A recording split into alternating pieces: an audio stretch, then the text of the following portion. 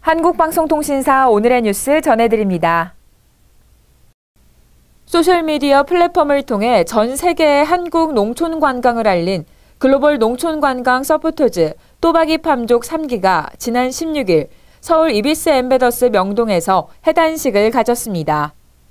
2017년 처음 시작된 또바기 팜족은 해마다 세계 10여 개국에서 온 외국인 서포터즈들이 우리 농어촌을 관광하고 그 내용을 소셜미디어에 올려 전 세계에 우리나라의 아름다움을 알리며 한국 관광에 대한 관심을 높여왔습니다.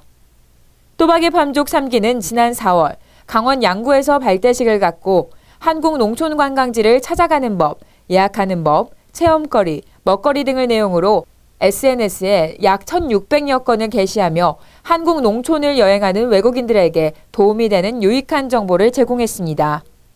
이날 해단식에서는 서포터즈 전원에게 수료증을 전달하고 우수 서포터즈에게는 포상금과 표창장을 수여했습니다.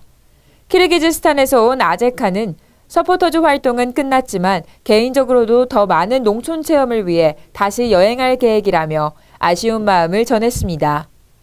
농어촌 자원개발원 김선호 원장은 한국의 진정한 맛과 멋을 실제 체험한 서포터즈들이 자국으로 돌아가서도 한국에 애정을 갖고 홍보해 주길 바란다고 말했습니다. 이상으로 한국방송통신사 뉴스였습니다.